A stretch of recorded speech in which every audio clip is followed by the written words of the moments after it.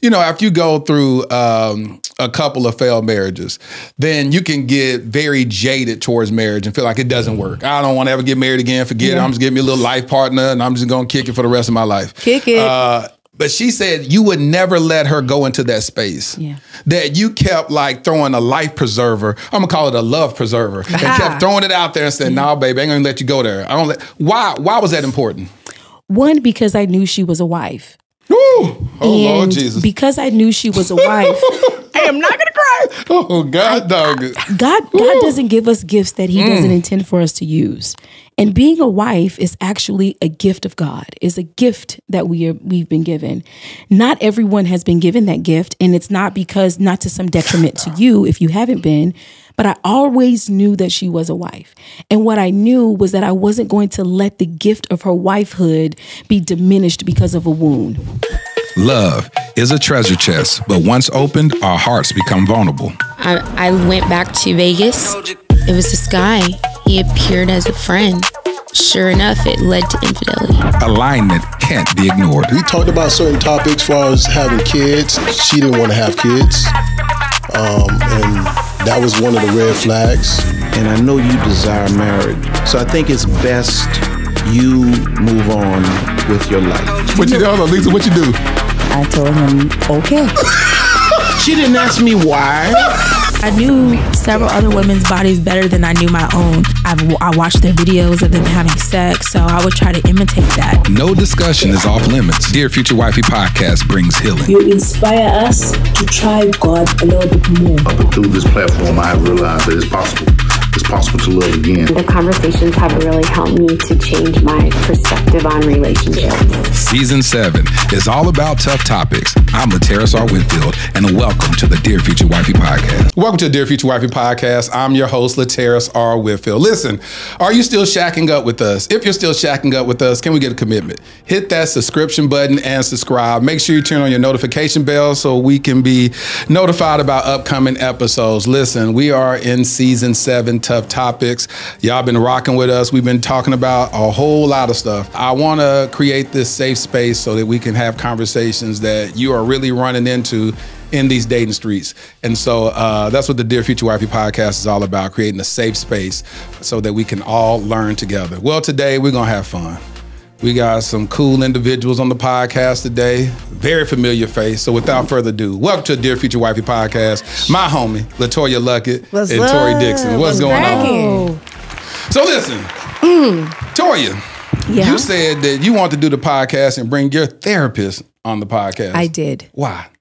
Well, let's have some education in the room. I'm not saying you're not educated. Uh-huh. I mean, I, hey, I'm, I'm, not. learning. I'm a student. I just felt like we need a licensed therapist To deal with your problems. No, Wait a minute. I mean, because that's what basically you're I didn't You saying that you need. You said that I can't help you unpack your problems. I didn't need, say I didn't say anything about unpacking. Well, you said that you I need some education in the room. You said Said you that need we a- I felt a licensed therapist will be would needed during your helpful, interview. Helpful, For your interview. helpful was the word that I used, For your interview. and I enjoy her company. And I just felt like Child, we all we got up in here. we are Me and you, all- Toya. Exactly. Through the fire. Through the fire. And she was with me and has been with me through the fire. So I just felt like um, if we needed some back door on some answers Uh-huh. from a therapist point of view, boom. We don't many even have to phone a friend. She right here. Don't have to phone a fan. We don't have to How phone a many years friend. have y'all been rocking together? Oh man. Wow. Um Probably since what? 20? since we met in yoga. In yoga? Yes, That's, that's how y'all right. met? We met in yoga. We met in yoga. That's right. Yeah. A friend of ours had a birthday party. A mutual friend had a birthday party, and she wanted it to be like a wellness centered birthday party. Yep. So we met at a yoga class, and we were doing yoga. We were. and then Mm-hmm. how did the conversation? I'm a therapist. And I obviously looked like I was in shambles. And she was like, Take my card. you look like you're going through it. And I was like, Really? And I, she, I was, you know, new to Dallas. And, um, you know, for real. She just came up and she was she introduced herself. She was a sweetheart, such a light in the room. And um, she was like, "Look, if you ever need a therapist or someone to talk to, share with, or whatever, I'm a safe space." And I was like, "Yes." And she has been just that. Which is interesting because I mean, it has to be somebody has to be very trustworthy for you to be able to trust them with your Mm-hmm. Yes. your your innermost thoughts and secrets, especially you being somebody that uh, you you you hate the term celebrity. I hate it. But uh, what word you want to use? passion. Somebody that's recognized by Yeah, yeah. by millions. everybody, you know, you want to go. Sometimes you want to go where everybody knows your name. Yeah. And I just feel And like they're always glad you came. always. Yeah. And troubles um, are all the a few folk know my name. troubles aren't all the same. They're not. They're different. They're all out in different. these streets. Troubles all Yes. different. Oh Yes. man, golly, it's wild out here. Um, but yeah, I, I, a few folk know me. And so you, what made you connect with her and find? Because like I said, Mm-hmm. to share your thoughts, to share your heart, to share the stuff that you're going through, you have to have the wherewithal to say, "I'm gonna trust this person." Yeah. Uh, what made you trust her? I mean, I feel like because of the person that invited us, um, who is a dear friend of mine, I felt like everybody in the room, she keeps good company. Okay. So I said, okay, if she's here and if this is someone, um, because I'm sure they talked about it before she actually approached me, I felt like, okay, this is someone that I know I can trust, I'll be able to share with. Um, and of course, the first couple of sessions, I was probably sitting there like everything was great. Yeah. Um, but once we started really diving deep, I was like, okay, yeah, I can talk to her about literally anything. And she, there's no judgment. Um, and she's one of those therapists, you know, have you been to the therapist that, I don't know if you even Yeah, gone to a therapist because Don't I, like- I just feel like, have you unpacked? Don't- You don't- Are you don't look speaking of unpacking? Do you, are you You healed? Don't I look here? You showed up. You can't see- right. can't see the Did you go see the lady? Did you go see the lady? She always, she 'Cause always this say my lady. people the lady. She called the therapist I the said I was lady. bringing my lady. My lady. but like you know how you go to those some of those therapist visits and they just let you talk and then you look up and you've answered your own question. Yep. She is a she's a combination of that and if I start just going down the rabbit hole, it's like, okay, so I'm gonna stop you right there. Cause blah, blah, blah, blah. And she'll go sister girl on me. Good. I needed both of I needed Good. that. I needed to be able to, you know, be able to come up with my own solution and her allow me um, the opportunity to do that by getting it out. But also, if there's something, if I need to pivot, help Yeah. me pivot. Yeah. Um, and so she she has just been amazing. Yeah. And I always tell her, I was like, you know, um, we are our own personal experts, right? You Yeah. are an expert in your own life because you actually live it. My job is to stand outside of the space and point a flashlight and say, hey, you, you've been going this way.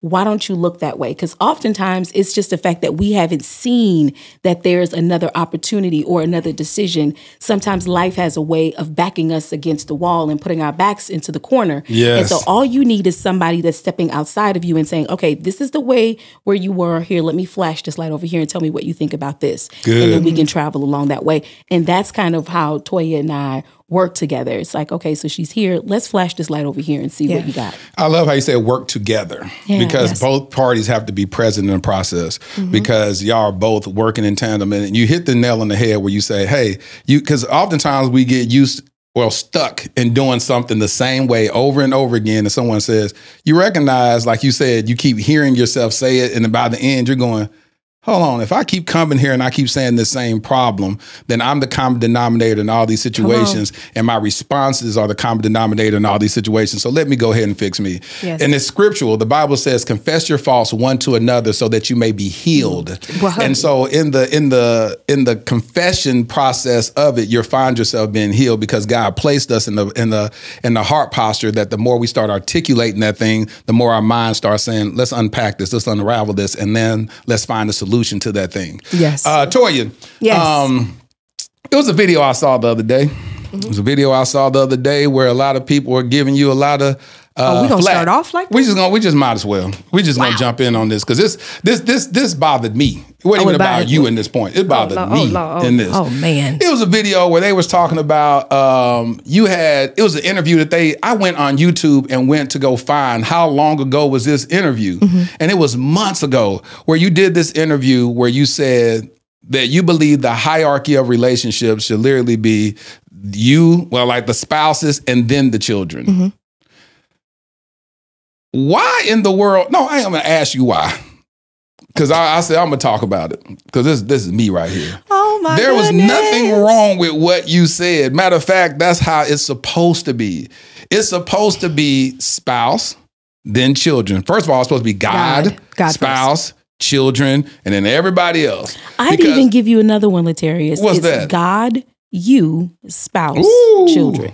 Mm. Right? Because you can't skip your responsibility to be a healed enough. Slide that microphone close to your mouth. I need it Um, all the way close because that was good. Is that better? Yeah. you You can't skip here. the Uh-huh. process Right, right, right. of having your own healed space before you are entering into relationship. And so as you are drinking from the cup of whatever God is pouring out into you, Teach. you have to have the oil first. And what happens is is your spouse and your children, they actually get anointed from the overflow. So when God spoke about the oil and the anointing on Aaron, he says I'm going to pour it on his head and it's going to fall down Oh, to his, his beard, beard. and down on. to his skirts. So when we look at how the anointing flows, we can't leave ourselves on the outside of it and then think that some way, somehow, we can find our ways back in. No, to keep the alignment, I'm going to ask you to put yourself first so that you can prioritize your relationship with God. And then from there, you show up as the best version of yourself to then be a partner and be a parent. Toy, you I, at this shit. point, I can just step outside. Yeah, you- you- I can you- wait out front. Oh, you didn't tell me There's she had all this word in them. I saw a snack Yes, basket it's- it's- it's- outside. it's I'm gonna let out you guys uh, finish this. Listen, you didn't tell me she had all this word in her. I told you this why she coming. I look. I do, first of all, let me just put this out here. Your boy tried me. He was like, "If you can't be brave enough to show That's up by yourself, you what I know what I'm saying." That's I what I said, "No, that's not it." The reason I'm coming with my therapist is one, I need people to understand that people that you guys might mm, not say look up to, but might admire their gifts. Right. We need help too. Facts. Probably most of the time we need help the most. So I want you to know that if you are in a space where you think you might need help or you don't feel um, like you're at your best or you need some healing, don't be afraid to call the lady. I Yeah. called the lady. you know what I'm saying? I talk to the lady often. Yes. And so the lady got a name. Her name is Tori Dixon. Tell, no, but no, no, tell, tell, give context why you keep saying the lady. What, what, you say the guys Because you know say? the guys be like, you know, when you break up with them, I'm gonna go see the lady. I promise. I swear, I'm, I'm gonna just, I'm gonna get my life right. I'm gonna fix it. I'm gonna call the lady. I promise. They be calling too. And they be calling the They be lady. So this the lady. Dude So I called me the one time. lady He was like, y'all. "Listen, I gotta come see you because then I can't go home Yeah. until I prove that I was at an appointment." I was like, "Sir, let me get you in. I don't even have no more time, but I'm gonna get you because you got to go back home, sir. We trying to keep families together. You need to go home, so I need you to come and see You me." having people have emergency calls with you? Absolutely. Absolutely. that they saw the lady. Absolutely. And she's like, listen, if I don't see a counselor swiped on this card, you can't come home. Because you need fixing. You need Fix it. fixing. You, You need need fixing. fixing. Yes, So when you fix think about that, about how people came at Toya about that comment, what is your take on that? Why? Why is it? Because I have an answer for it, and I want to hear what you got to say. Why were predominantly women triggered by her saying that the spouse comes before the kids? Because I think historically, um, there has been this disconnect and divide between what happens in the relationships with men and with women. And when you have discounted the need for having a man in your life, then you also discount your responsibility to place him in a spot that will be above your children. There it is. Usually, we will place most of our, when we've had those types of experiences, we will place all of our eggs in our basket with our children because who's going to take care of us when we're old? And so it's my responsibility to make this hierarchy you know clear up front so that if this person leaves then i will always have my children. And oftentimes we start to adultify children in those spaces. So then our male sons become men of the house and they're three. And our daughters become the um, the pinnacle or they become the canvas onto which we paint our own manhood. So we say things like i'm a good man because of the way i treat my daughter. Yes. so now she becomes she is put in this place where she shouldn't be when we should really be practicing manhood and womanhood with men and with women and not adultifying our children to take those spaces. So it's completely understandable why um, a person would say that um, because of the hurt and the pain. But if you want to stay in order you have to start in order so it is your spouse and then it's your Stay in order, children start in order. Stay in order. Start- is there a chalkboard?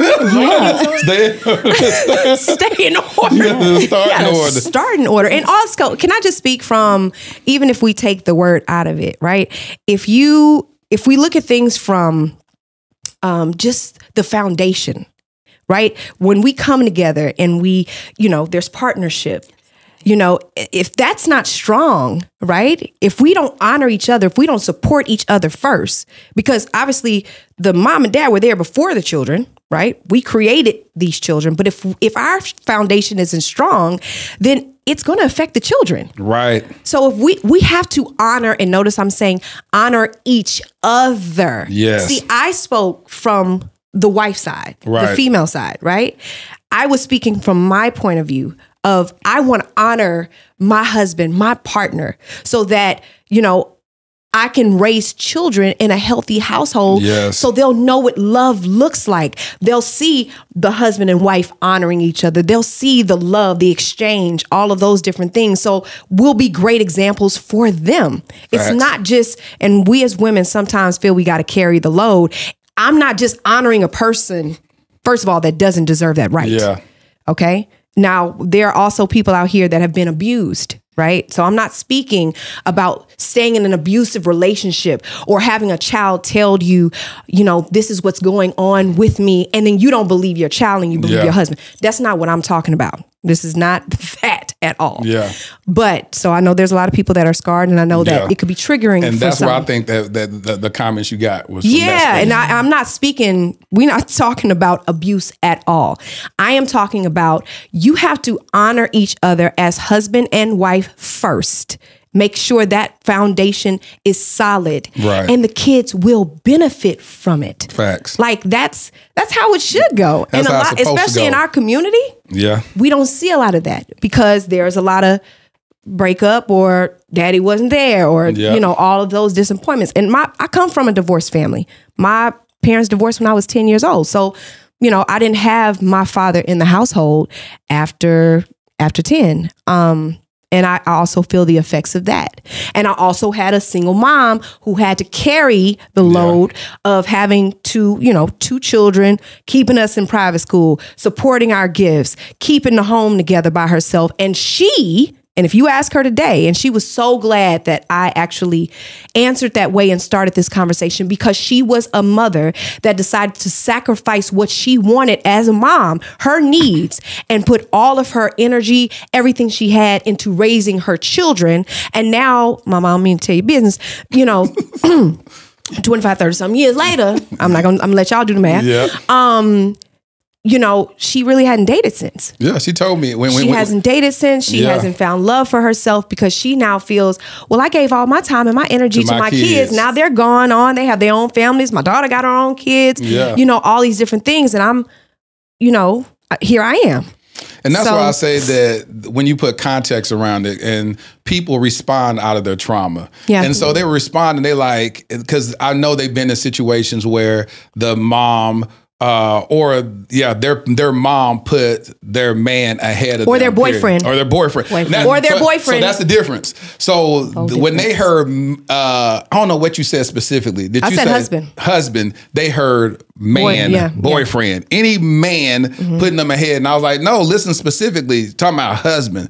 That is the hierarchy of any relationship. And when you look at it, if we did stuff in decency and order, then you're getting married first, and then you're having the kids. So then how do I put what I had from that union ahead of the union? It doesn't make Mm-hmm. sense. And so we we've and that's the reason why I love having these conversations because I want to help uh, unlearn some bad habits because we've been we're operating in trauma. And then and then you hear all this rhetoric uh, on social media and then we read it and go oh well that's how it's supposed to be. And i'm like no you over here consuming toxicity. That's not how it's supposed to be. And then you try to have a healthy relationship with a mate with that ideology and they looking like well clearly uh, your son your husband so I ain't, you ain't got no time for me. And you can't have a healthy relationship. Clearly your daughter got to be your wife because you don't want me to be your wife so y'all y'all keep doing what y'all doing and it puts you in an awkward situation because you're not you don't have the space to articulate how you feel in that relationship because it looks like you're jealous of that child you know what i'm saying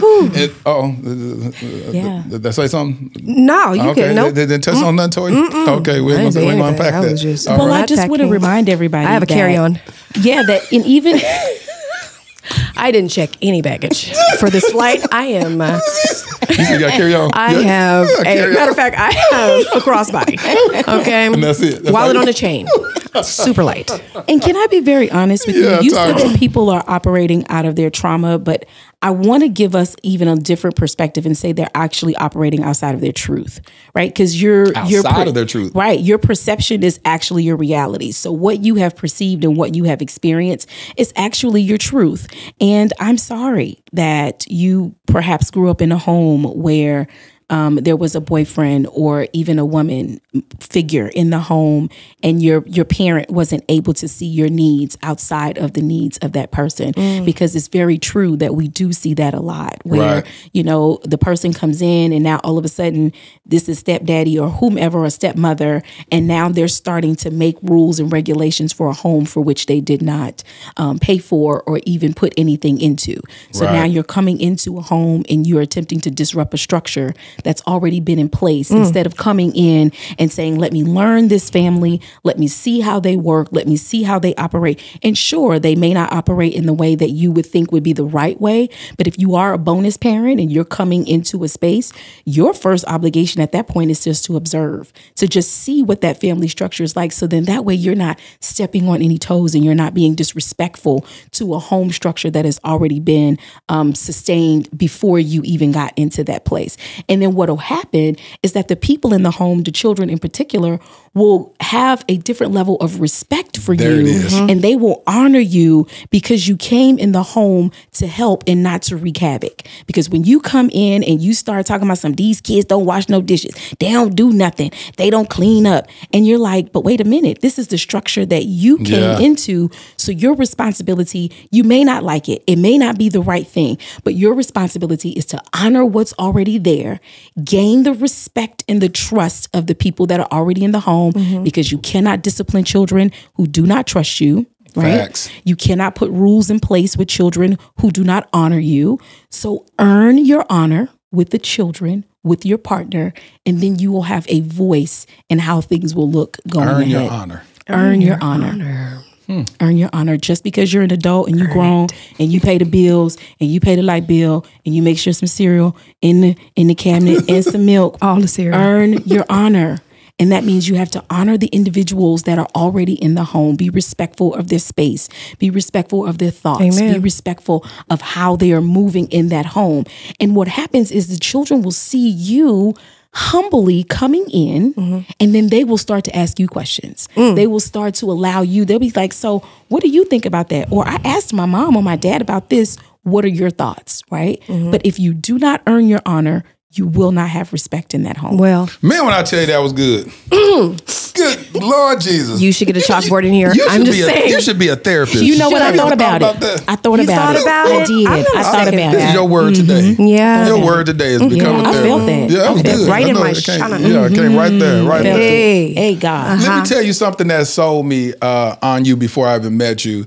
Uh, Toya said something that was very impactful. She said, "You, you know, after you go through um, a couple of failed marriages, then you can get very jaded towards marriage and feel like it doesn't work. I don't want to ever get married again. Forget it. I'm just getting me a little life partner, and I'm just gonna kick it for the rest of my life. Kick it. Uh, but she said you would never let her go into that space. Yeah. That you kept like throwing a life preserver. I'm gonna call it a love preserver, and kept throwing it out there and said, "No, baby, I ain't gonna let you go there. I don't let." Why? Why was that important?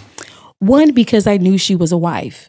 Woo! Oh Lord And Jesus! Because I knew she was a wife, I am not gonna cry. oh God, dog. God God doesn't give us gifts that He mm. doesn't intend for us to use. And being a wife is actually a gift of God. Is a gift that we are we've been given. Not everyone has been given that gift, and it's not because not to some detriment to you if you haven't been. But I always knew that she was a wife. And what I knew was that I wasn't going to let the gift of her wifehood be diminished because of a wound. And wounds are not there to diminish gifts. Wounds are there, they happen. Um, we go through so many difficult challenges in life. But I knew that I needed to remind her that her wound would actually make her a warrior as she continued in wifehood. You be killing me with this alliteration. I'm, I'm I've been following it this whole time you talk. You always hitting this alliteration. It feels like I'm in church. You're speaking to my soul. Yeah, I knew that. I knew that she was a wife, and I knew that she had the gifting, and I knew that um, oftentimes what the enemy does is he tries to throw these um, these tactics. These, Yes. you know, he's a tactical person. Um, he has um, he always has a scheme. He's a schemer. He's a scammer, and so what he wants you to do is he wants you he wants to discourage you to the point that you feel like you have to put your gift down and lay it to the side Teach. Because you had a wound. And I knew that I was not going to leave her wounded on this battlefield, um, and that we were going to come out of this together. And no matter what happened, if she chose to use that gift in wifehood, then she would. And if she didn't, that would be okay. But what you were not going to do is you were not going to wither under the wound on this battlefield. You were going to come out, and we were going to come out together. And however God chose to use this gift in your life, we were going to have it used. But we were not going to stay withered under a wound. I wasn't going to let it happen. She didn't. You was not going to stay withered under the wound. You was going to come out as a warrior. She was going to come out as a warrior. Tori, how does it feel hearing that? Do you feel like you're a wife? I know you're getting choked up. My entire esophagus. Yeah, yeah. I know you want to just break down. I did, and I'm trying to because the lashes. It's a lot. Um, and you ain't got no makeup scene here. I know, but I got some tissue. I cannot though. work up under tissue these need- conditions. I got tissue. Yeah, grab that. Ugh, It's Yeah. a lot. It's a lot. Yeah. Um, So she said, "You are a wife." mhm. Have And you I am. always thought like that? Yes. You've always. You talking about from the beginning as a teenage. You've always imagined yourself being married. Yes.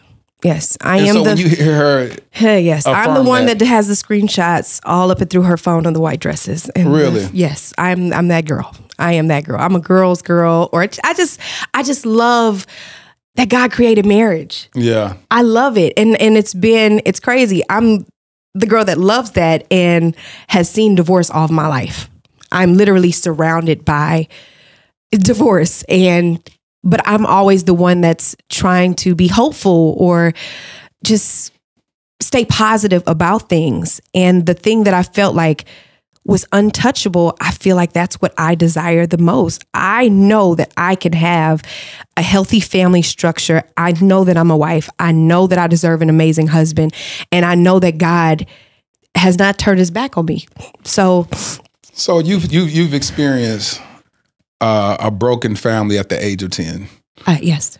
and you and you've experienced two failed marriages. I hate to use the word failed either, I because I, always believe you learn It something didn't from these work things. So it just didn't work out. And it's not necessary because I, a lot of times, and I heard the amazing Sarah Jakes Roberts say, mm-hmm. sometimes your lessons will look like losses.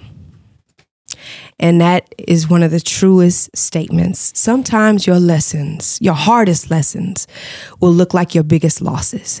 And I will say that, yes, um, my marriages were some of my biggest lessons. I would not have found, or, you know, I wouldn't have the relationship that I do with her had I not gone through what I went through in my marriages. So I am grateful Yeah, and I'm understanding um, more than ever that God is intentional. And I know that I had to go through some things in order to um, get the lessons that I need to make me a better person, a better wife, a better mom, um, a better friend, daughter, all of those different things. But yeah, I mean, I got two amazing children yeah. out of my last marriage. There's nothing failed about that. Teach. The book of Fantasia says sometimes you got to lose to win again. She got the Holy Ghost. I literally was going through my books of Bible, my all of my biblical books. The book, the book of Fantasia. Is that after Mark? Yeah, second chapter. Okay. It says sometimes you got to lose to win again. Okay, yeah, yeah, yeah. Um, and I'm reminded of that that that word uh, because, like you said, sometimes our our losses. You know, um, when you when you focus on the losses, it, it- it's all about perspective too. Like when you when you look at your whole life and you say, "All right, I've been here, I've done that," but what's so powerful is that she said, "I'm not going to let you give up on who you are, the essence of who you are. You are a wife." And so, and and I'm telling you, it's so encouraging to a lot of people because you you have no idea how many people DM me and say, I just figure I'm just never gonna get married again. I don't Mm. believe God. I was talking to a friend the other day, and she said, "I've been married before. Maybe it's just not God's will for me to be married again." I hear that a lot too. Yeah, and I was like, she said, I already Yeah. had it one trial. I was like, what kind of God you serve? if, you, if you worked at a job and got fired, you say, ain't my God will for me to never get another job? Like, do you ever say that? you know, if you eat some food and you got food poisoning, ain't my will, eating I again. ain't never eating again. I guess ain't God's will me. Like, that why do we treat. Food like me. that? Food ain't for me no, no, more. I just, I'm just giving up on it. You know what I'm saying? At Forget the end of the day. That ain't my the end of the testimony, day, we give up on stuff so Mm-hmm. quickly and something and i understand why is because the devil hates covenant. The Mm. devil hates uh, unity. He hates that. Why? Because he knows that one can chase away a thousand and two can set 10,000 demons to flight. He knows that. So he knows that if you get two people joined together in covenant you can wreak havoc on the gates of hell. Yeah, And he don't want that to happen. Yeah. And so I'm glad that you always keep a heart posture of hopefulness where you say, uh, I'm using that alliteration. I got that from you, heart posture of hope, hopefulness. And so uh, that you always stay in that, that heart posture because knowing who you are keeps you striving for that which you want and what you desire and that and God's greatest for you. Yeah. And so that's that's a word of encouragement. What would you say to women right now that may be watching this? Some of maybe even your friends who have given up and just said, I don't I don't think God wants me. They know that they're a wife, but they don't believe that their husband prospect is out there. What would you say, Toya? Don't. Don't give up. For what? I mean, just because you haven't had the best luck, just because we hear all the time, uh, it's it's it's tinkle in the dating pool. Yeah, uh-huh. it's wild out here. The streets is crazy. I, I I get it. It's scary. I, I get it. Social media, Instagram, the DMs are nuts. You know, I get it. I understand that. But like you said, I mean, what a mighty God we serve Yeah. like i i pray i continue to pray um for the things for that i want my desires and i feel it deeply Yeah. that those prayers will be answered but also we've got to do the healing we've got to make sure that we're right and we also got to can't rush things Yes. you know if if if we're still going through the healing process and a lot of times you can tell. If you still talking negative about your last experience if you still cringe every time your ex name come up if you know you see red every time you know then baby just what you need a, you got a little more time. You got some more bacon to do. God ain't finished you we 365 so get 375 we, you know you still got some bacon some healing to do until God sends you the son that he has for you, the son that he's been prepared. And maybe he's still preparing him.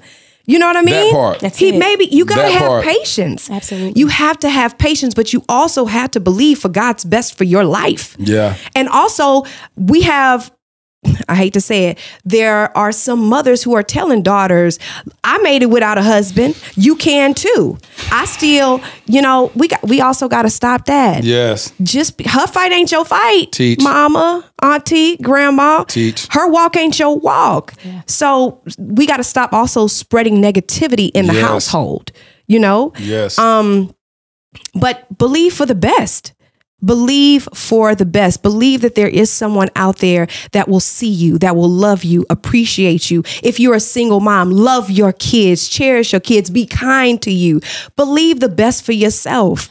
You know what I mean? Stop allowing yourself to be torn down by negative thoughts because it also starts right here. If you keep telling yourself, I don't deserve this because I didn't see this, or I don't deserve this because I don't feel it's out there or it hasn't presented itself yet, then you're already discouraging yourself before Facts. any man or any woman can, you Yeah. know, come into your life or even try. Yeah. Absolutely. And also, guys, um, I know we have our list.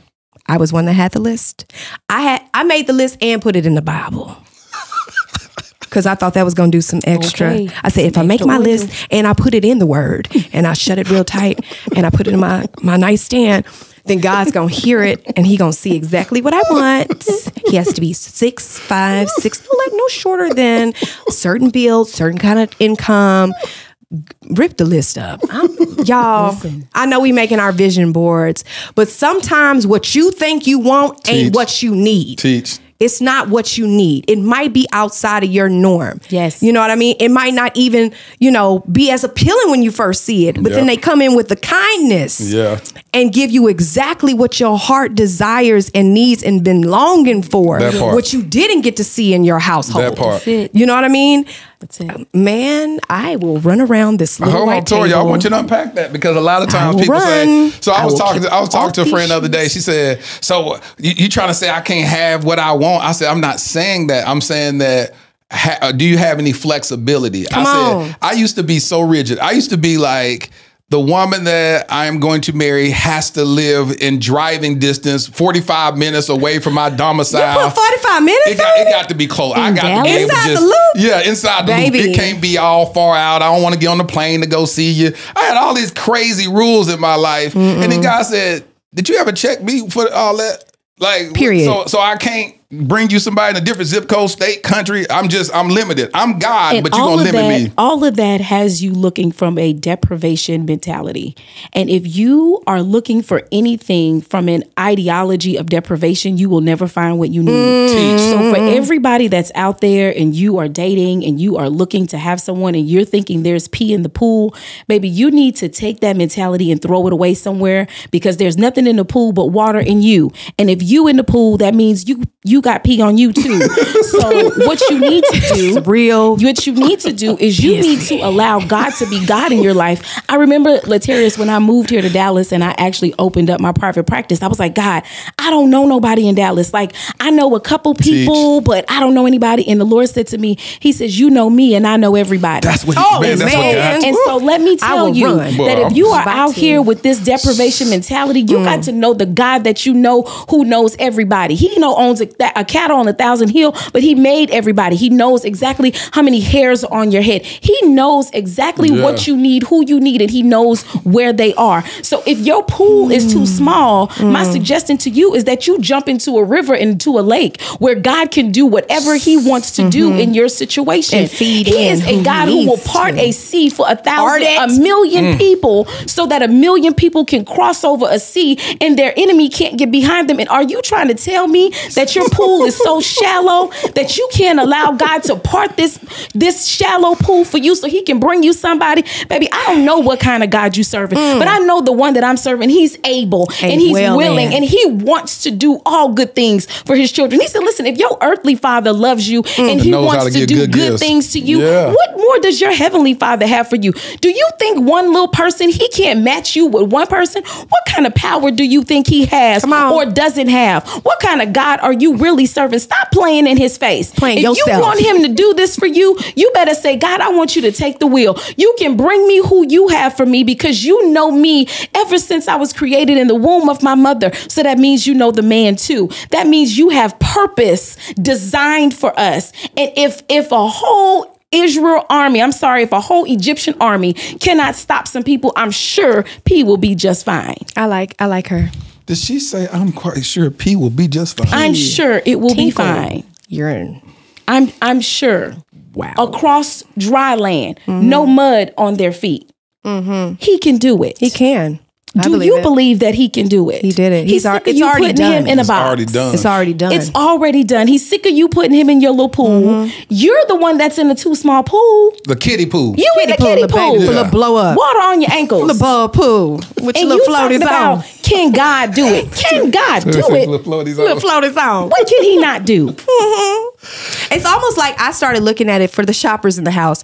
You know when you're going to buy like a specific coat or a skirt or something like that, and they have the little filter up there, right? And you're like, okay, I'm looking for a red skirt. So they ask you, do you want it short, long? Do you want it red? Da da da da. By the time it goes from like 700 skirts like to about 30 skirts, you know, that's what I started looking at. And I'm Yeah. like, why do I keep doing this to God? Why do I keep doing this to myself? Stop mm. Like, filtering God's really? options. Stop, Stop filtering, filtering God's, God's options. options, bruh. Stop it.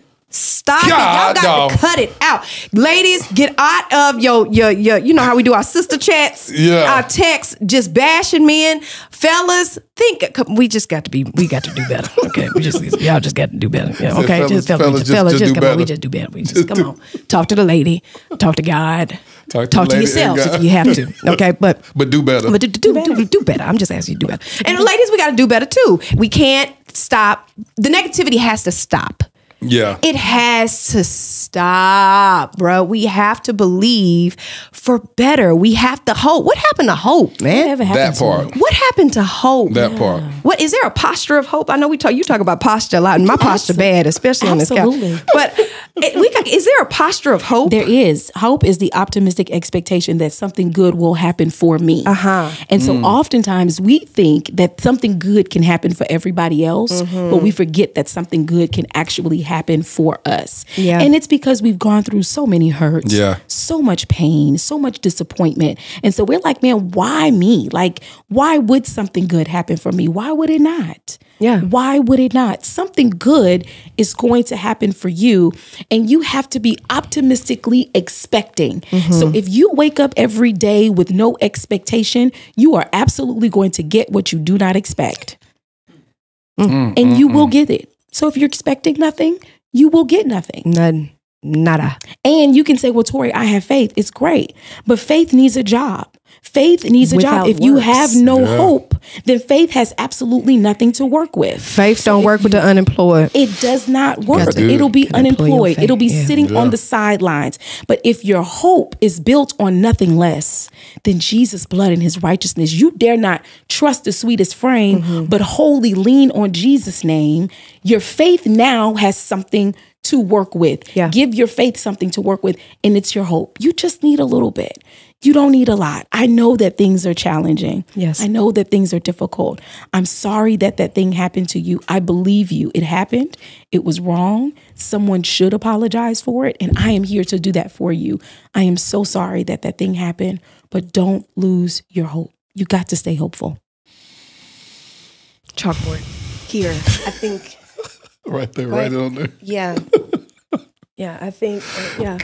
We. I mean, I, or we can put it here. I understand. I understand why you keep Now, going to. do you believe? Yeah. Do you trust me I now? have hope. Are we in the trust tree? Yes, we're in the trust tree. Okay, Yeah. because I mean, this was for your good. I know it's for me. It was. This for our good. Yeah, yeah. But this was definitely for your good. Yeah, for Maybe me. you needed to see the lady. Maybe God was speaking through me. Look at God. bring Tori. Bring the lady. Bring the lady to the terrace. Various needs. The lady. Um, When I say you, you, you, you speaking. When I'm telling you, it's so edifying. I love. we should call this episode "The Lady." I found it. The lady.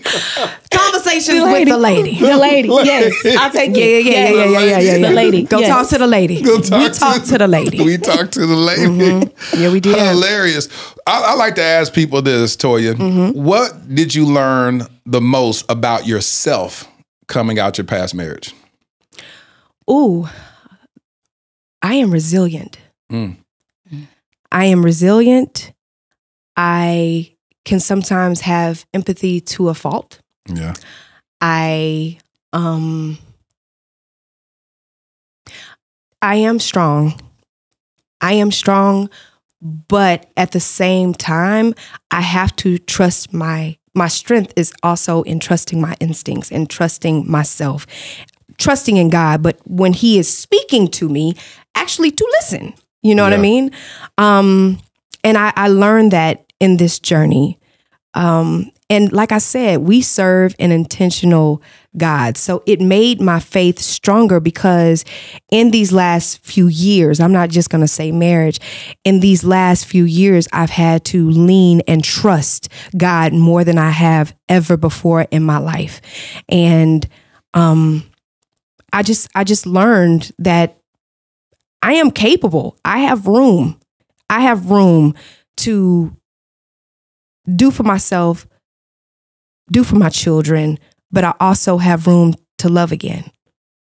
I have enough love for that. God has given me enough love to go around.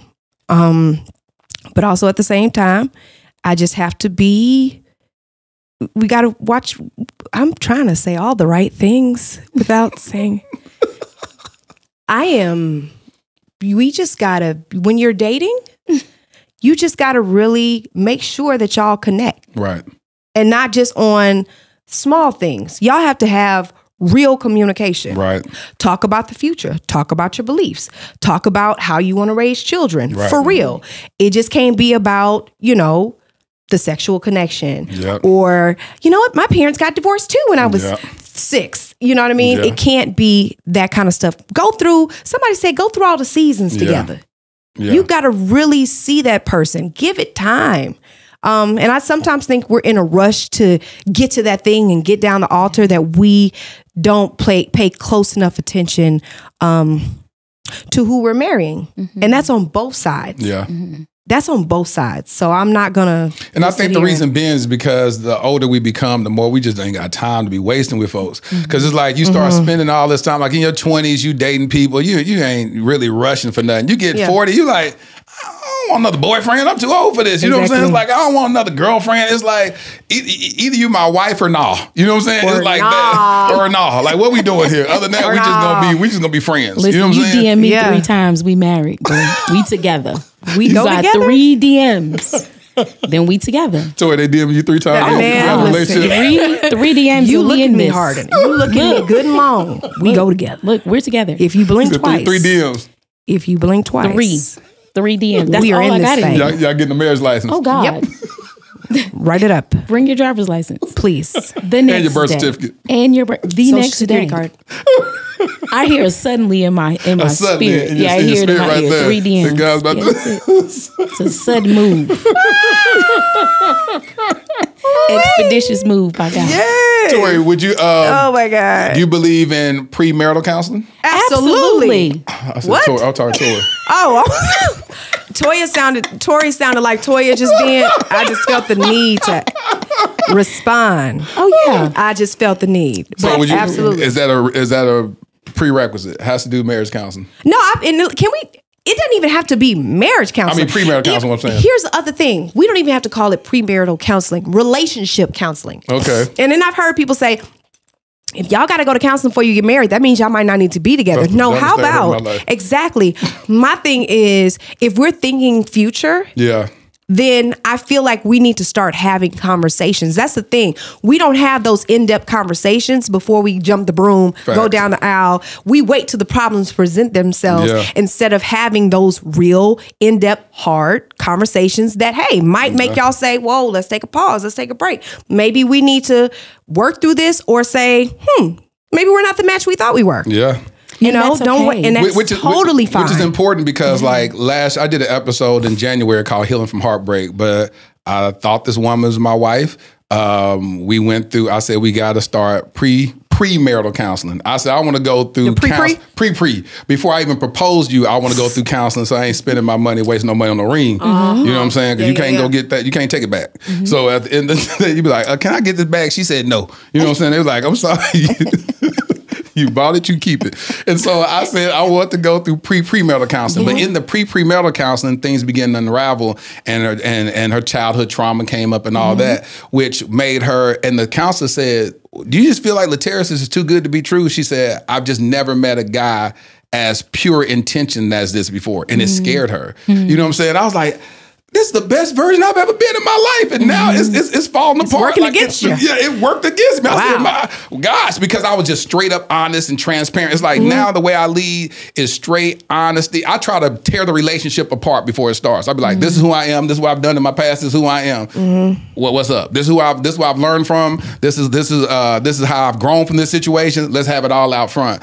But then for when you lead with transparency and honesty like that, sometimes it's scary. So she was just like, I've never met a guy to just show his scars at the very beginning. Mm, yeah. And I was just like, this is just who I am. I've done a mm-hmm. lot of work and I'm not ashamed of what I've done in the past. Mm-hmm. What you've fallen in love with right now is because of the pain of my past. But then she was just like, I I don't know how to deal with this. And um, it broke my heart when she mm. walked away from me. She was just like, December 27th. She said, I, ju- I just Remember can't the do day? it. The December 27th. Wow, he is It was hurt. just last year. Just last year. Doggone, Toya. Oh man, it was last year. Oh, Last year, oh, December. She lived that close. Yeah. Oh, we. That was- that was- I'm that was- glad. See, you guys need to set up a call. Yeah, we'll talk. You should. You should. We'll I am so sorry about that. Yeah. But you look good. Toya, you You said I got set up a call. set up a call. set up a call. But I can see there's been some progress. There's been- been, it's some. The it's been- healing has amazing. started. Yeah, it's been some Great. We still got some work to do, but yeah, we're on, He's on his way. road to recovery. Yeah, he's on his. Way. I way. did not know it was that soon. Y'all gonna leave me alone? No, I mean, look, he's not crying about. He's not. You're doing really. You're good. doing good. You're holding it together. Look at you. Why y'all Oh, both man. like this? Why y'all like but this? hey, you could have been really heartbroken six years down the line.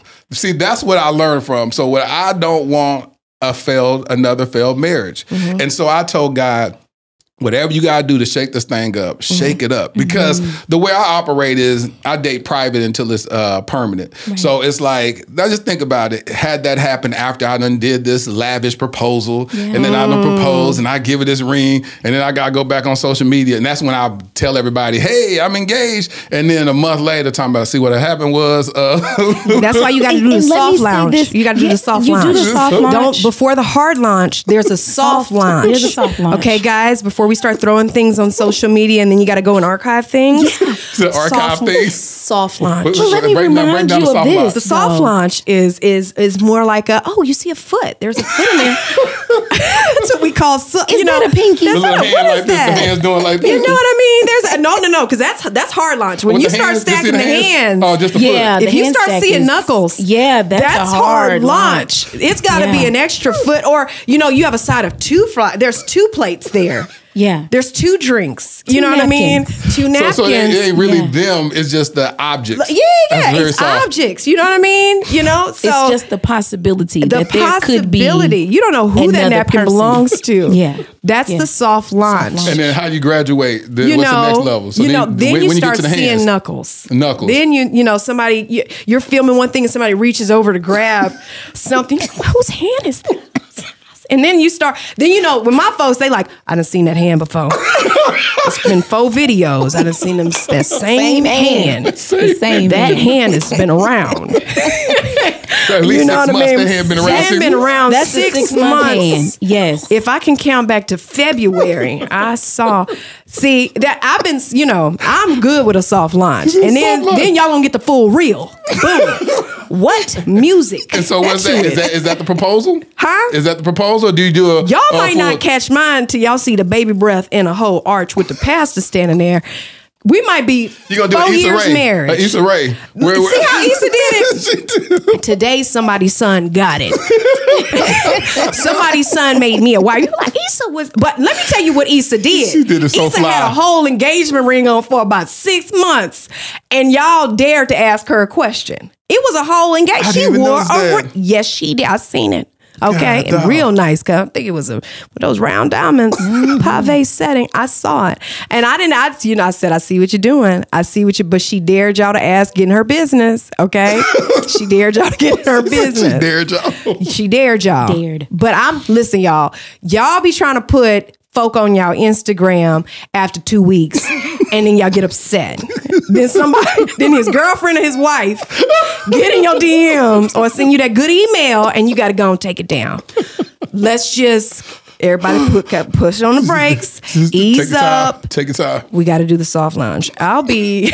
maybe we do a whole interview, but we do a podcast yeah, on it the need to soft be a whole launch. course on we need soft a launch. course. We need a soft launch Absolutely. course. But then people who are launching and you realize that you've launched into shallow waters and this is not the thing for you, baby, pull your boat right back on the mm-hmm. shore. You don't owe nobody nothing. Mm-hmm. No explanation. You- I don't care how many launches you've done. if this thing is not what it's supposed to be, pull your boat back and your net, empty Reel your net, in. clean them, come back to the shore, and then launch again. Yeah, yeah, yeah. You yeah. don't have to do nothing because you posted something on Instagram. don't ruin your life because you like I don't want to take down that picture. It wasn't a cute picture anyway. You missed up the filter. So just take it down and They you didn't can go with the Paris over. filter. The Paris is always good. Oh my gosh. I go for Paris. Take it down.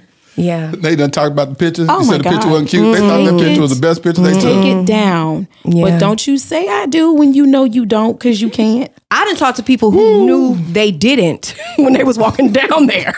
I have they heard the Lord speak. I'm like, I know for a fact for me when I, you know, going through my singles before marriage, thought of marriage, whatever, I remember praying a prayer and I said, I'm Lord, I'm leaving this at your feet. I'm not, I'm not even gonna remove the desire. I just want you to choose because I don't know how to choose, right?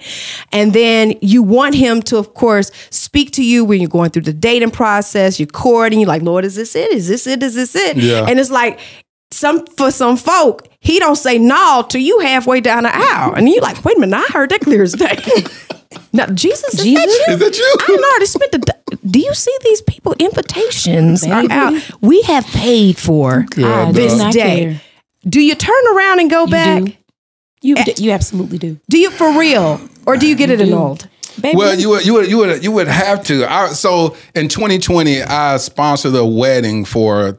It's supposed to be four couples, but it had been three during the pandemic. Yikes. I got the date because I got the venue because this lady who was um, about to get married the month before canceled it, and my daughter was going to get married. Well, she ended up getting married, but she was she wanted to have. Well, I wanted her to have a big wedding. She didn't. Yeah, I know, I know. Don't don't don't throw nothing at me because she. So she was like she was like. Uh, I had made a post and said, "Hey, my daughter just got engaged," and blah blah blah blah blah. And the friend said, "Hey, listen, my friend just called off her wedding. She has this beautiful venue that she has put all her money up. You can probably get it for half off or whatnot." And I said, I ain't gonna never walk away from a deal. So I said, all right, well, cool. So then I hit her up. I said, hey, listen, um, I, I asked my daughter, hey, you want to look at this venue? Cool. We went and looked at the venue, said, This is beautiful, this is blah, blah, blah. I said, Cool. I got the date from the lady. And then my daughter came back about a couple of days later and was like, uh, Dad, I just, I don't I don't know a lot of people. Like you're gonna have nothing but all your friends and my mom's friends all there. Like mm, mm, mm, this would be for y'all. He said if we had a wedding, it's only gonna be about 15, 20 people. I said, no, I no, I'm Mr. Producer. We gotta produce the wedding. Got to be nice. We got to have a choreographed father and daughter dance. We, we- you know, we got to go viral. We You got to create all this. I was doing the most. Doing That's who I most. am, Toya. So I said, so so she said. Dad, I just don't want that. And then I said, but you said you did. She said, that's because I let you and, and my mom talk me into it. And I said, all right, then, um, all right, well, so what you want to do? She said, I want to do like a, a a courthouse wedding or or a destination wedding, something, but I just want it small. And then she ended up saying one thing. Maybe we can just. She saw one of her favorite YouTube uh, um, people, Kaylin and Kyra, who just pulled over on the side of the road. His dad was a mm-hmm. pastor, and they had this very beautiful wedding on the side of the road. It was so intimate, and she was like, "Dad, maybe I can do something like this." And I said, this is crazy. Then she hit me with this. It doesn't See. make sense to spend all this money on a wedding and then we're still living in an apartment. That money could go towards a house. I said, flesh and blood. Come on, priorities in Why order. You got priorities. Like, who I taught you that? She was like, it just doesn't make sense. You're going to spend all this money on this. It doesn't make sense. So then it like put me in a situation where I couldn't renege off the, the, the deal I made with the lady. So I had this whole venue. and since I didn't have no wife prospect in, in mind, I said, well, I guess I'm gonna have to gift it. And so I went on social media. I said, Who wants to have a group wedding? And then it was like three couples that stepped up and we did this group wedding or whatnot. And it was absolutely beautiful. But again, she, that lady was like, she had a dress. She done spent Yeah. all the money on a dress. She did this. And I asked, I said, How did you get the courage to walk away from So something a month in advance? Invitations are out, uh, money on the venue, money on the dress. You ain't getting that money back from that Nope. custom dress. How do you do that? She said, I'll save myself more money, time, heartache than walking away from it now than walking away from it later because it's going to fail. Yeah. Baby. And I was just like, I salute you. I am so proud. And I invited her to the group wedding that we end up having. And I said, I want you to see how we use this date to to provide purpose for other people or whatnot. And she was just like, That's that warmed her heart. So so many times we we waste time curating moments instead of actually living and making them. And so if you are actually trying to make a thing or make a moment She and said you're trying to curating curating them, you actually miss out on living them. Mm. And so you miss moments trying to curate them. yeah. And so that's just a, a wonderful example of your daughter saying, No, I don't want you to make up a moment for me. I actually want us to live in one. And then we can make this what it is for us. And see, and I've like always her. taught her to have a voice like that, even if it hurts my feelings. Yeah. Even though I didn't get against my daddy daughter dance. And when it actually came down, she got married in the clubhouse of her apartment. See, and it was just it was it was pretty much free just buying food or whatever and i wouldn't change that day for nothing i was taught her like, well. i was like wow i said this is i said she looked at me and i looked at her and i just tears start streaming down my face, and I said, "Here's your day." Beautiful. Married an amazing dude uh, that they met when they were in high school. Well, they actually met when they were in middle school, but I didn't let her date that early. I said, "You got to date after you graduate high school." So they went to college together and, and Well, all that. It's so beautiful. and I'm gonna tell you something about my daughter since we're talking about that. I told my daughter, I said, listen, you spending all this time with this dude, you 19 years old, 18 years old. Stop trying to be so serious. Go date other people. Like date other people so then you can have a choice of who you decide. Because right now you just uh, you, you know, you may be disillusioned. You you dating one guy and be like, this is the one. Just date a folks. She said, Dad, why would I go out searching if I already found the one? Well, I said, That's good. God, dog it, little girl. well, well. She said, Why would I keep going searching? I said, But how do you know you only 18 years old? She said, Because I know. Because I know. He's the person I want to spend the rest of my life with. I said, Let me talk to old Tay. And we'll- So I called Tay. I said, Tay, so my daughter's very serious about you. Are you serious about her? He said, Absolutely. I said, So you tell me, why don't you date other people? I started trying to get in his Yeah, head. yeah. He said, well, Why would I only want to do that? He said, She's the only woman I want to be with. It. And I said, I love it. I Love said, it. God dog. it." So then I got them all dressed for prom together and they went off to the prom together. But it was just, I learned so much. I'm a student of love. So I just listen to people and mm, extract yeah. gems from people and learn. Yeah. I'm getting so much value from Toya having this conversation, from you, Tori, having this conversation, just learning how we've been out here trying to figure this thing out. Yeah. A lot of us operating in toxicity or our own truth, Yeah. uh, however we want to define it. But we're re- we're we're more responsive, you know, based upon what was done to us or what we've seen done to other people, and we're not allowing ourselves to live in these moments. And we're trying to curate these moments by looking at Instagram and saying, "I need a man like this. I need a ring like Yeah, that. I want yeah. this venue. I want this." And we and instead of saying, "God, what do you want from me?" What do you Yeah. want from me? How do you remain in the heart in the heart posture, uh, Toya, of allowing yourself to be submitted to the will of God?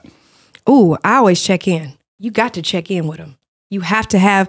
I'm a relationship person, right? And the most important relationship to me is my relationship with the Father. There it is. Right. So, how we strengthen that relationship and how you strengthen the knowing of when you hear His voice is you stay in constant communication. You know what I'm saying? So I feel like as long as my pro- posture is right, you know, with Him and with that relationship, then I can hear from him. I'll be guided by him. I know when to get out of the way, Yeah. get and getting out of my own way, um, and just staying hopeful. Just staying hopeful, believing for the best, even when negativity presents itself, even when I can't see the light at the end of the tunnel, even when, you know, those triggers try and creep back up, Yeah. those past hurts, that unforgiveness, Yeah. all of that stuff. I mean, we've got to pay attention to that. Right. When you feel those things, don't ignore them. Don't overlook them. Start to okay, do the work. All right. I know what that I feel that pinch.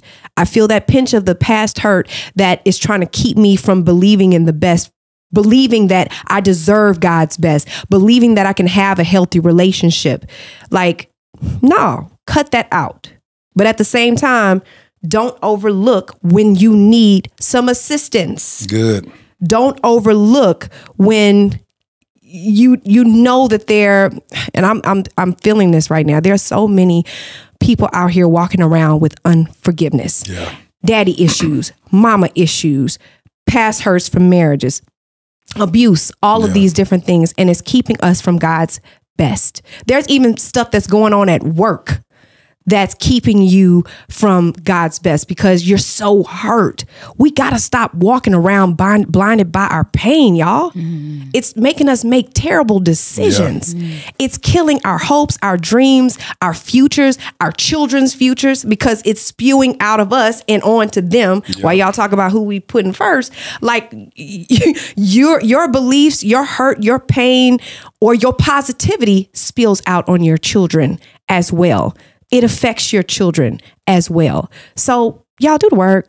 Let's do the healing. Let's stay positive. Let's stay hopeful. Let's start talking to the lady. Okay. Let's start talking to the lady.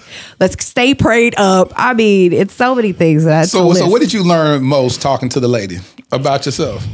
Because you advocate for her so much. You advocate about the process. You uh, uh, talk about how much your growth has been. I hear her talk about partnering with you on this journey to wholeness and, and healing. What did you learn most I learned most when I first started talking to her that I had so many open wounds that I was not healed in so many areas of my life.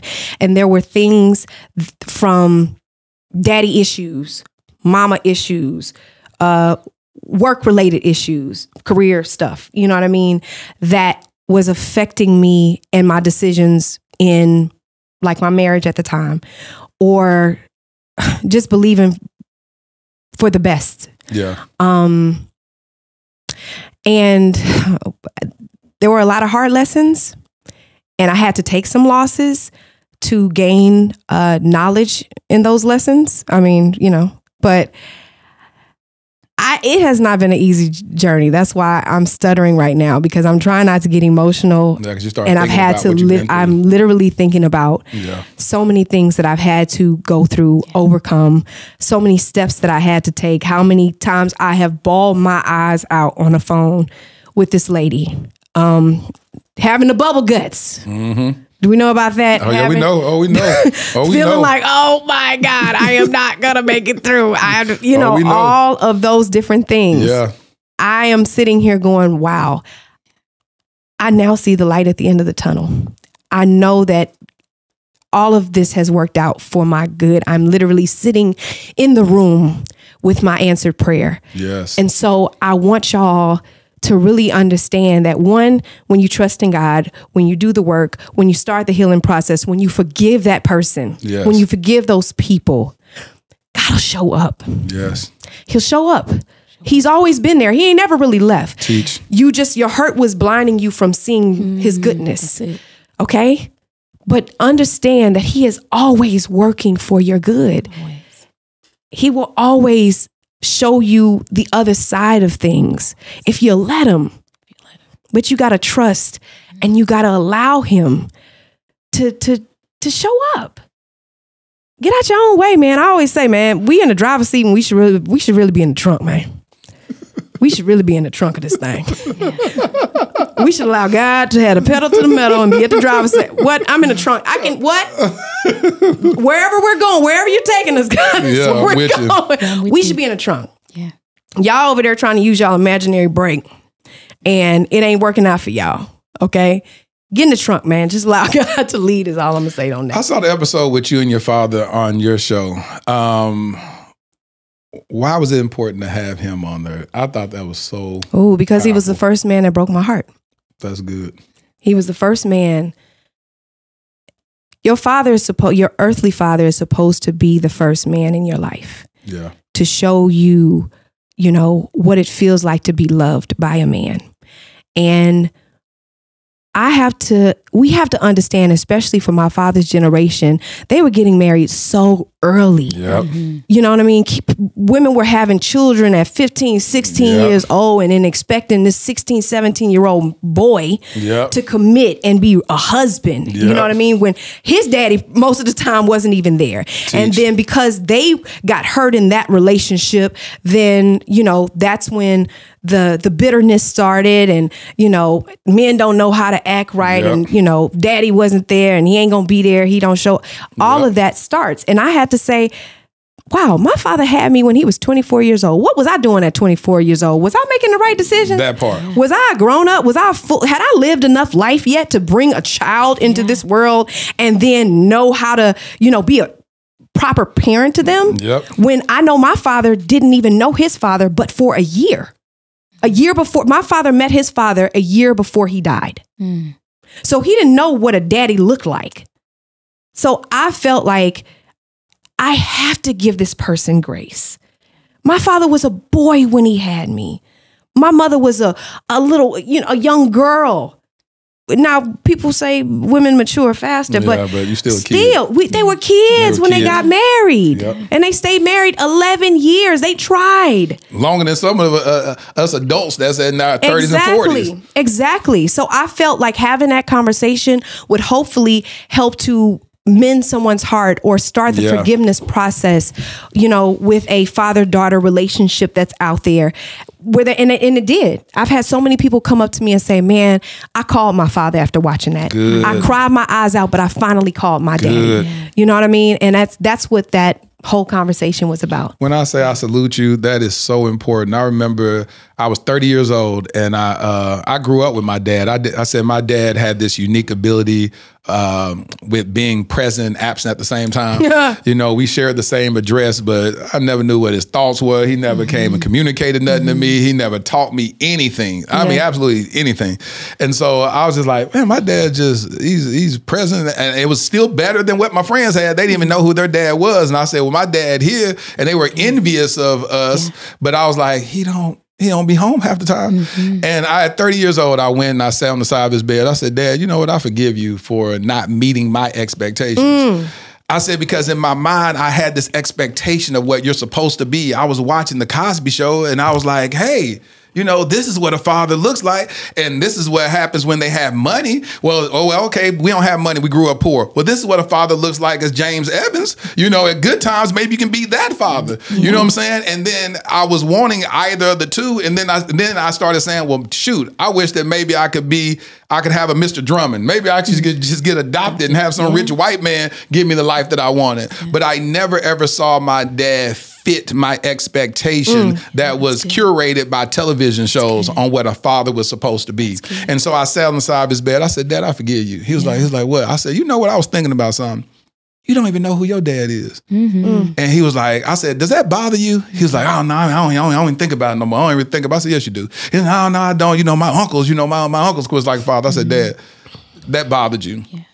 In 2020, it's a video on my uh, on my YouTube channel where my sister and I did research on ancestry.com found out who my dad was my, my grandfather was and my dad is 72 years old found out who his dad was. Wow. and he acted like a little boy. His his brothers and sisters came in from Houston. They they drove up during the uh, during the pandemic. The Father's Day weekend I gifted my father with the knowledge of who his dad was and I watched him act like a little boy. And my father who was never present in our home now has strong relationships with his other brothers and sisters that he never knew about. And I'm watching him thrive and flourish in ways that I've never seen him in 72 years. And so I understand what those deep father wounds do to a male does to a daughter and at the end of the day if we have still have breath in our bodies brothers sisters, because there's mothers out there too. Go ahead and give your kid the knowledge of who you are. I know you have this ideology. We saw Kirk Franklin find out who his dad was and how it's still a lot for him to unpack. Um, but the reality is, as long as you got air in your lungs and you've been asking God, I just need a sign. Maybe I just need a sign to go ahead and reconnect with my child, reconnect with my offspring. Well, here's your sign. Call them up, talk to them, and give them the grace to bring you into their life the way they see fit. Don't force it. Uh, but I guarantee you begin to put prayer over that thing, God will open up that door strategically for you to be able to cultivate that relationship and, and fill that hole in their heart. Uh, how would you tell people to transition as we get ready to wrap up? Um, people that have not been in their children's lives, what would you say to that man or woman? Um, that's walking in shame, walking in unforgiveness uh, to themselves. That's the greatest uh, unforgiveness that we carry is that when we don't forgive ourselves. How do you, what word of encouragement would you give them to unpack that and try to help heal that hole? I would say the common denominator with all of us is that we are all children. We are all somebody's child. And regardless to if your parents were in your life or if they wasn't in your life, the one thing that we have to do is we have to humanize each other. I think we have this superhero complex for parents. Um, we also almost have it for our children. And like you said, they have this expectation. But the moment you humanize a person and you make them human, you also connect with their mistakes. There it is. You'll know that the connection is that none of us get it right all the time. Yeah. That we're not perfect. And the moment you can see your parents as a child, um, because I too am a child who came from a unwed mother, and um, and my dad, he was. Uh, I'd like to say consistently absent, right? But as I've gotten older as well, I made it my business to make sure that I made a connection with him as well. As a matter of fact, I just saw him on vacation. I went to Camden, South Carolina to go visit him and say hello. And I hadn't seen him in about 10 years. 10 years? 10 years. But I will tell you that when I look into my father's eyes, I see his humanity and I see me in Yeah. him. And the thing that connects us together is just that one glare that says, man, he's a human. Um, he did the best that he could. Uh, my father lost his parents when he were very when he was very young, and so um, just having that human connection. And I say all the t- all the time that our biggest connection as humans is loss. Um, We've all lost something, and we may not be able to experience all the great highs that the world wants to give us, but everybody can connect from a loss. And if you haven't had a relationship with your father or your child as a parent, and as a child, you haven't had a relationship with your parent, the one thing that can humanize the two of you and bring you on the same plane is that you lost something so significant. And the way that we heal loss is that we bring it together as best we can and we unite and we come back and we say, you know what, I am sorry. And no, I wasn't there and I could have done better. Parents, it's okay to apologize to your children, whether they're five or 55. Sometimes they need to hear that validation. They need to hear you oh. say that you're sorry and that you did the best that you could with what you had. And the best that you could with what you had was still hurtful. Mm. My dad did. Yeah. And I think I think because and I'll say this it is our job is literally in the word that we are supposed to honor our mother and our father. That part. Right? And also if you're a parent that's getting in the way of your child because of your pain, because of things didn't work out with y'all, if you're getting in the way of them honoring their father or honoring their mother, Mm, How is God looking at you about that? yeah. Okay. Good. The marital relationship is different than a mother and father relationship, two Yeah. different relationships. So that Yeah. we're just going to leave that there. But I think that God blessed me because I continue to honor my father, even though I was disappointed at times by my father. My father has been very accountable for his actions. Good. He showed up. I've gotten the apology. He's told me, look, I did the best I could. My dad went on to be married three times or four times. I don't know. Daryl was a player. Um, he was in them streets. but four either way, three, four, hey man, he like a good commitment. Who that man like a good commitment? Okay, you know, that man likes saying some vows. But anyway, um, He likes to say some vows. he do. He God bless him. But I got my apology, and I think it's because I I honored I honored him. Yeah. You know, regardless of what happened in our relationship, regardless of my disappointment, regardless of how many times he he wasn't there. Yeah. You know what I mean? Um, but I like I said, don't y'all be getting in the way Yeah. of these kids honoring their mother and their father. And I feel like I'm also seeing my father be a better grandfather to my children than he was As always. as a father to me. You know what I mean? Yeah. He shows up as much as he possibly can. He brings them toys. It brings him joy to be around them, to see Yeah. them. And he deserves that opportunity. Yeah. Yeah. He deserves that opportunity. Yeah. So I I I'm feeling the love that I probably desired from him Yeah. as my father. I'm I'm getting that love by seeing him love on his grandkids the way that I do. And let me piggyback off of that. Um, the same thing with my mom. She never spoke a ill word against my dad. Good. She made it her business to say, you have, you know, as much contact that the two of you can create together now that you are an adult. And I'm completely out of it. But from the time I was a kid, um, you know, my dad bought my mom her first car. Um, and so it was it was things of that nature. Like he he wasn't at all the games, but if I needed him, I knew that I could call him, and that carried on into my adult life. Um, and I tell parents all the time, you do not have to worry about the narrative the other parent is writing in the story of the life of your child. So it's not up to you to interrupt that narrative. And it's not my business. it's not your business. Y'all, it's Let not the kids' parent- business. Yeah, it's not their business. What y'all, if he didn't come home, not. it's, It's not. not. his business how many times he cheated. It's not. D- d- d- y'all, Yeah. please, can I please, please, please stop making your children your therapist. Mm. I know sometimes they're the only ones around for you to talk to, but call the lady. Yeah. Call on the Lord Yeah. before you talk to little Timmy, little John, and if he a junior, you named him a junior. you may you name that baby after that man, so don't get mad at your decision. you did that. You did that. Don't get mad at okay, your decisions. don't get mad at your decisions, but stop telling your kids all your business and getting trying to persuade them to not like Yeah. their father or their mother because of y'all toxicity, Yeah. because of what y'all went through in y'all relationship. It has an effect, a residual effect on the child. Don't go talking to your, uh, don't be having your, your conversations with your girlfriend Yeah. about how terrible they daddy is Yeah. In front of your child when the child is in ears reach. Like, stop. Each parent will write their own narrative. Please, the, the, he gon' he's going to write his own story. He's going to write his own story. Yep. The child will find out in their own time. Now, if he's an abuser, Yeah. And then we then we'll, that's a different story. Because Yeah. here we go get in trouble. Well, I need to because he gonna. Yeah. No, no, no. If he's an abuser, that's a difference. That's a difference. If he is physically abusive, you know, emotionally abusive, emotionally abusive, financially abusive, verbally abusive. that is a difference. But they may think emotional in the sense of a father saying, "I'm gonna go pick up my child on Friday," but he he don't show up and all that stuff. So she said, "I ain't letting him see his kid no more because he don't never come through." You have to be consistent. Be consistent with your child. Either be consistently there or be consistently gone. And either way, we can navigate either situation. if you are consistently there, then we can navigate that. But if you are consistently gone, we can navigate navigate that as well. Because the one thing that a child needs is It's cons- stability, Mm-hmm. regardless to what side of the fence you're standing on. Just be consistent with that.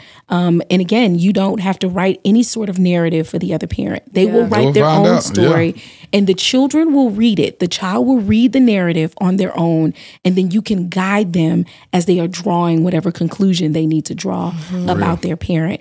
At the end of the day, the less you talk, the more God has opportunity to speak, and then Yes. those hearts and lives I'm can be of it. reconnected I'm of when you when you talk less.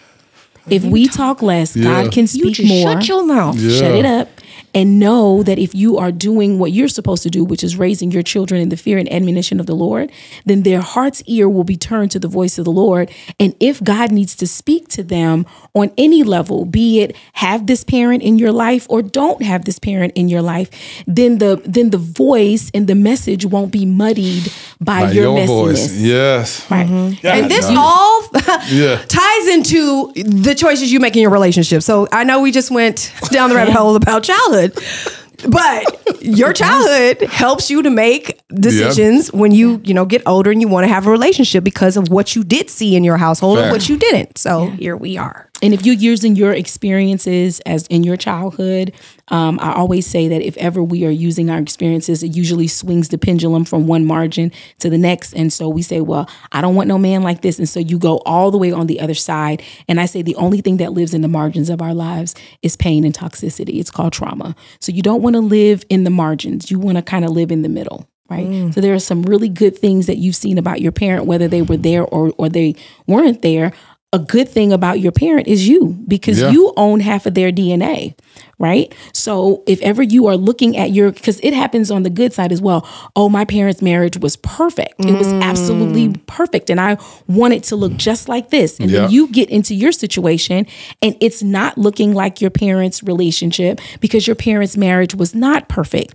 They just did a really good, responsible job of ensuring that whatever you saw There in their marriage, it was healthy for you. So what you saw was a healthy relationship. You did not see a perfect one. Teach. So you don't want to swing that pendulum all the way on the other side because then you meet somebody and you be like, well, this is not the perfect picture that my parents had, and I don't want to deal with you because you don't put your socks in the in the laundromat. And my mama, And my my, daddy daddy, always put his his socks, in there, and you didn't know why you was sleeping. Your mama was fussing and putting those socks in the dirty clothes There it is. So if you use your parents' uh, marriage not necessarily as a mirror but as a model, it allows you to build a structure and it's a blueprint. And sometimes your structure may look a little different, but what you want to make sure that the foundation and the studs are the same. Good. Studs.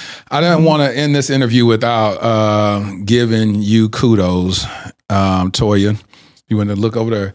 Um, of course, I've learned about your character through one of my close friends, Sharice. Hey, Reese. Uh, yeah, so Sharice, um, she she, I mean, from a couple of years ago, y'all began to get real close, and she was just like, this woman is a really genuine, genuine, cool person or whatnot. Uh, and so it's interesting. My one of my closest friends have now become my first lady at my church. Sure you know what I'm saying? She's a whole first lady out A whole first lady. Yeah, whole first lady. Okay. But what's so dope about it is how y'all both have kids by the same man and y'all are able to have such a healthy relationship.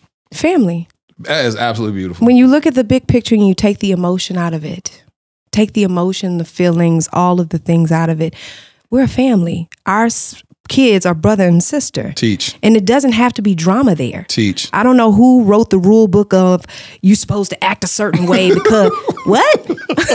no, you don't have to be ugly because things got ugly. Yeah. Yeah. You don't have to remain ugly, bitter, and have these feelings towards a person just because things didn't work out. Yeah.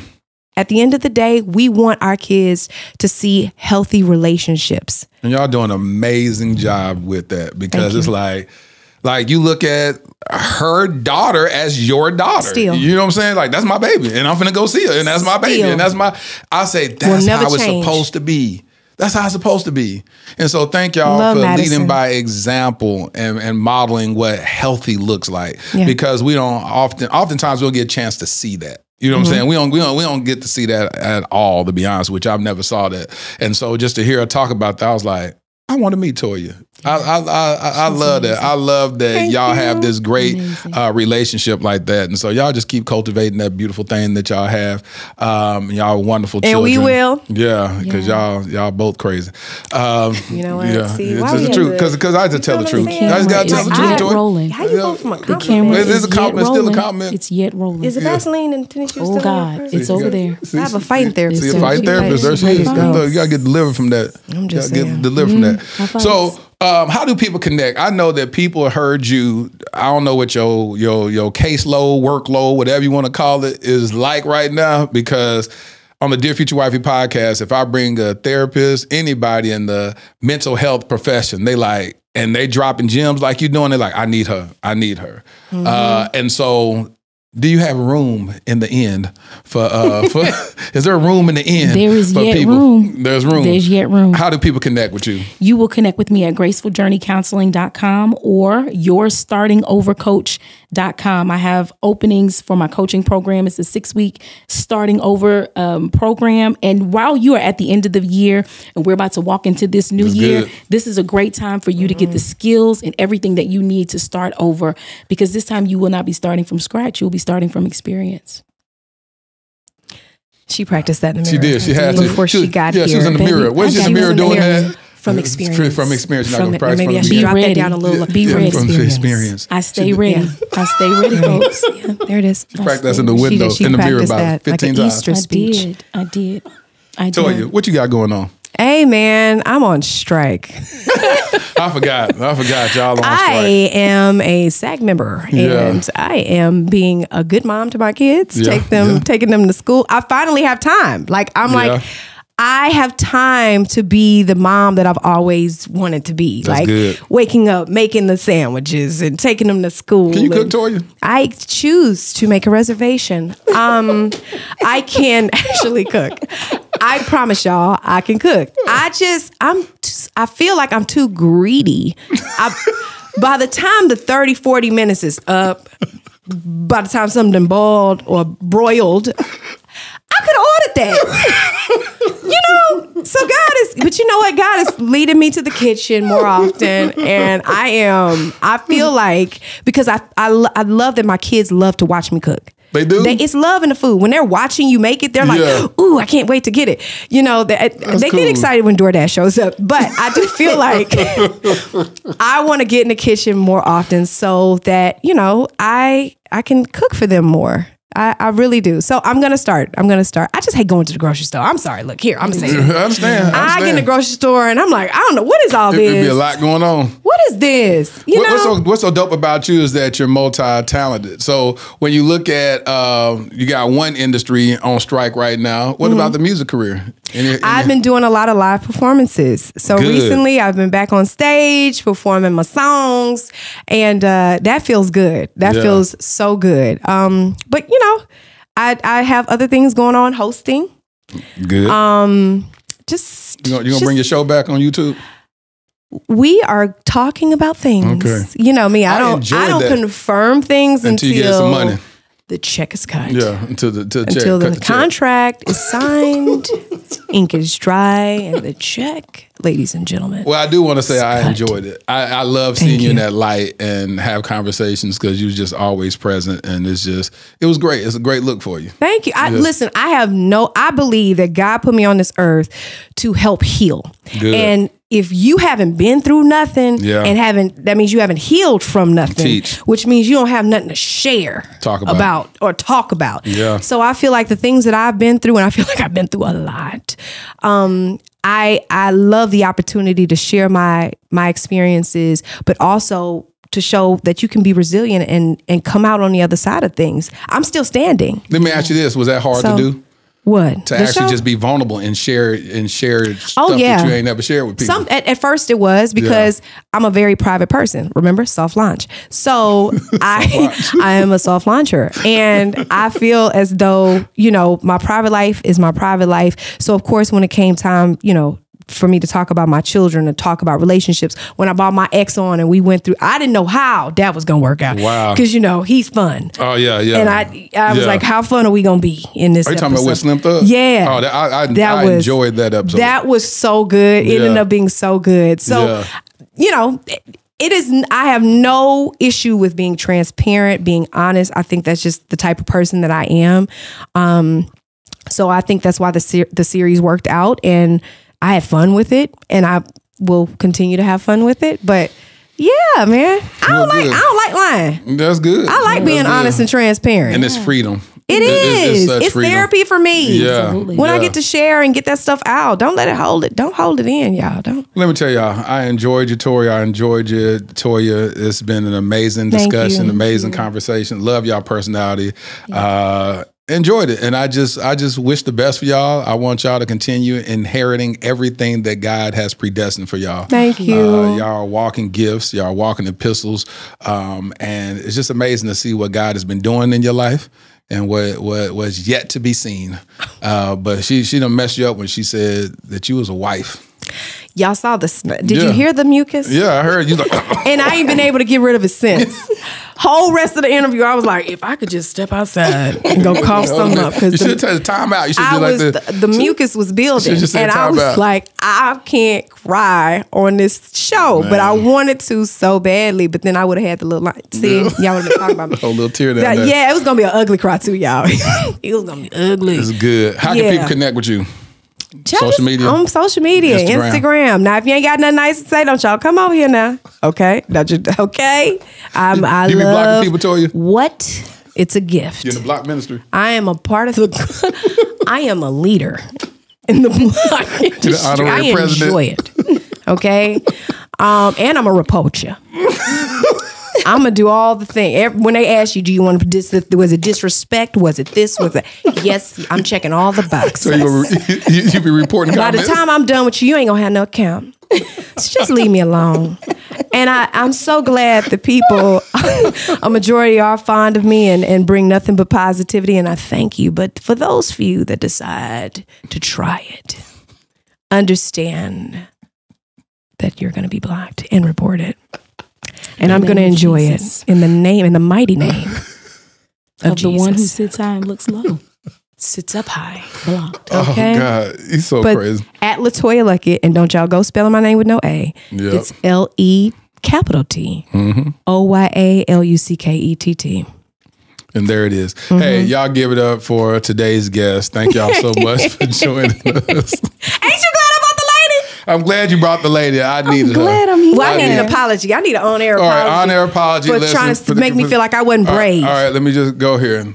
Toya is the first person to bring her therapist on the podcast. Mm-hmm. Um, I thought that that was a little uh, interesting to say the least. Oh, interesting. Um, and yeah, I'm use interesting. Okay. Okay, this is my apology. Okay. Wow, okay. Uh, it's interesting. It was interesting that she brought her therapist. I had no understanding why she would do that. Mm. Um, I felt like Mm-hmm. you know she could have sit down and talk. She sits on her show and talk. Yeah. Um, by herself. Uh-huh. And but then she wanted to bring an accomplice. It's getting long. Uh, this is my It's apology, getting Toy. This is my long. apology. I'm sharing my heart out right now.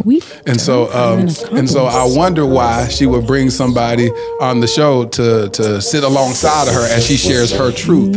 Um, and so The she music, decided can we start rolling to the uh, bring her music? therapist on the podcast. And I thought it was music, very uh, odd that she would do such a thing. Should we start And so I just the, want to um, say, credits on I'm sorry, Toya, Are there credits to for, be rolled? um, underestimating you. Done with so that. I apologize. Yeah, are we are we done? Yeah, I apologize. That's it. You're done. Yes, I said Thank you. Okay, apology accepted. Yeah, you're welcome. Finally. I, I said it from my heart. I am old and gr- she's over here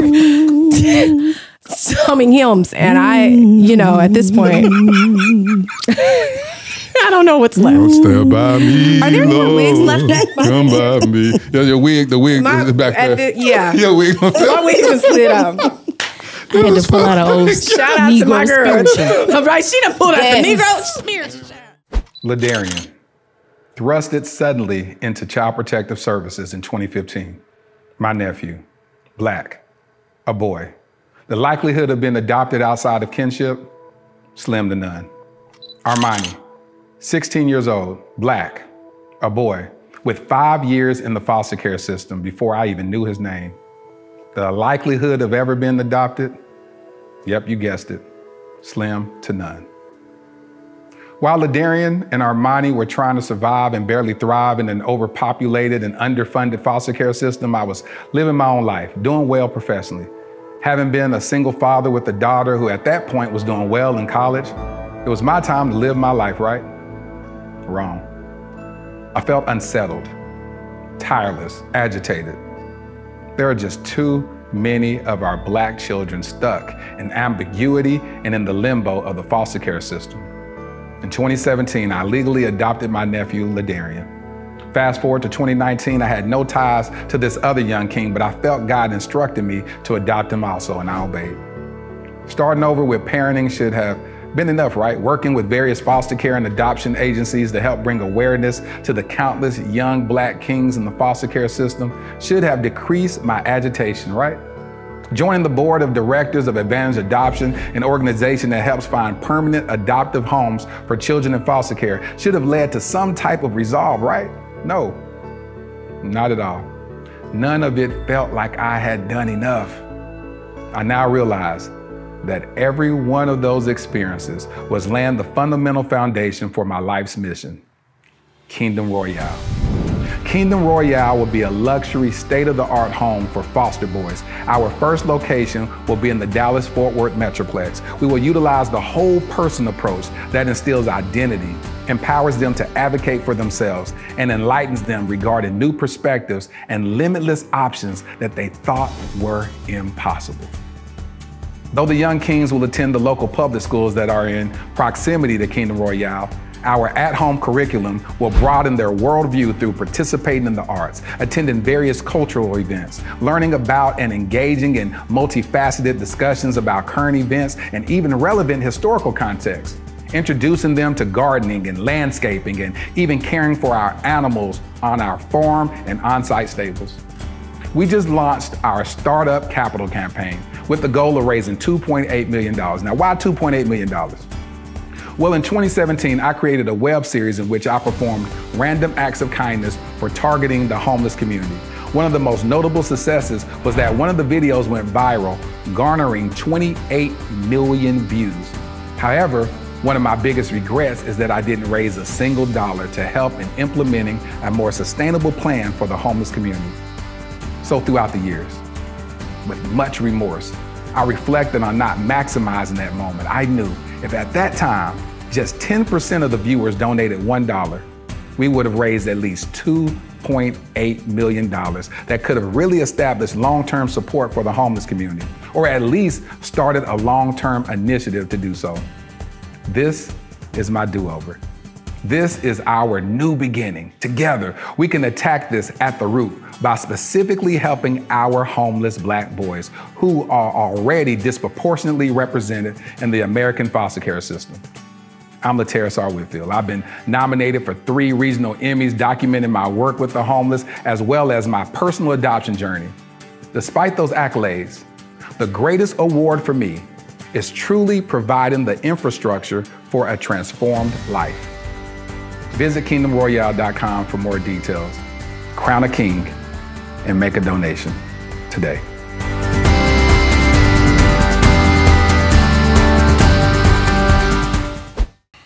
Such an honor to have had LeToya Luckett on the podcast. Uh, been wanting to talk to her for a minute, and it's just a bonus to have uh, the lady, her amazing therapist on the podcast. It's just I, I, like that. I had a whole lot of fun, and I hope you guys had a whole lot of fun watching it. Well, here's my favorite part of the podcast where I speak to my future wifey. Dear future wifey, therapy, therapy, therapy. Therapy will be one of the pillars of our marriage. Babe, we will always keep it 1,000 with each other. Tell me when my breath stinks type of realness. We will always know we have nothing but the best intentions for one another. Laughter will be the soundscape of our home. Our sanctuary will be the triangle love affair between the two of us and our Heavenly Father. Take a breath, a deep breath, and rest in our love. Your future hubby. I hope you enjoyed this episode of the Dear Future Wifey podcast. Remember, be lit, live intentionally and transparently, and don't stop loving. Make sure to subscribe to our Dear Future Wifey YouTube channel. We're available on Apple Podcasts, Google Podcasts, Spotify, and Stitcher. We welcome your support. Simply share our podcast with your friends and family.